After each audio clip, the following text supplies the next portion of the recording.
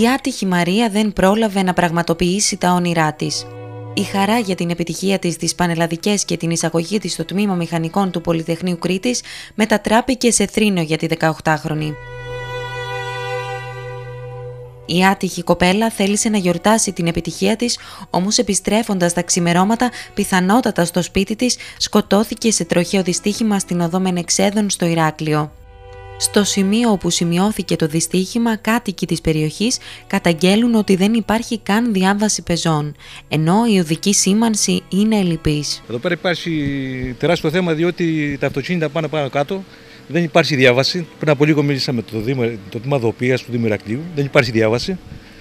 Ε, τους, το, το επισήμανα να κάνουν τουλάχιστον γραμμοσιάσεις και να βάλουν και στόπ και από τις Ανθέων, από τη μεριά της Ανθέων να βάλουν στόπ, διότι τα παιδιά παίζουν μέχρι τις 2-3 ώρα τη νύχτα, η κατάσταση είναι ανεξέλεκτη και κάτι πρέπει να γίνει.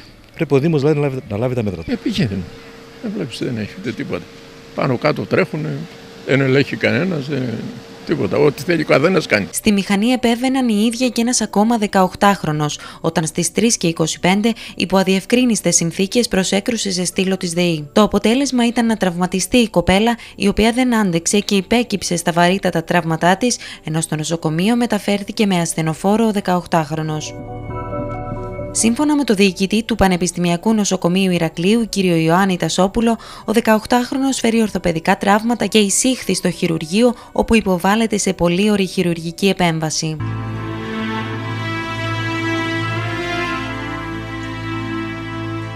Η είδηση του χαμού της 18χρονης σοκάρει την τοπική κοινωνία. Απαρηγόρητη είναι φίλη, γνωστή και συγγενής για την κοπέλα που δεν πρόλαβε να πραγματοποιήσει τα όνειρά της.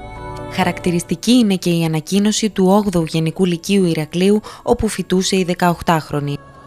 Το σχολείο μας πενθεί για την απώλεια της μαθήτριάς μας που έφυγε ξαφνικά σήμερα 28 Αυγούστου 2018 τα ξημερώματα πριν προλάβει να χαρεί την εισαγωγή της στο τμήμα Μηχανικών Παραγωγής και Διοίκησης του Πολυτεχνείου στα Χανιά. Η Διεύθυνση και ο Σύλλογος Διδασκόντων είναι συντετριμένοι, εκφράζουν τα θερμά συλληπιτήρια στην οικογένειά της και της εύχονται δύναμη να αντέξει το τραγικό συμβάν και να τιμά τη μνήμη της.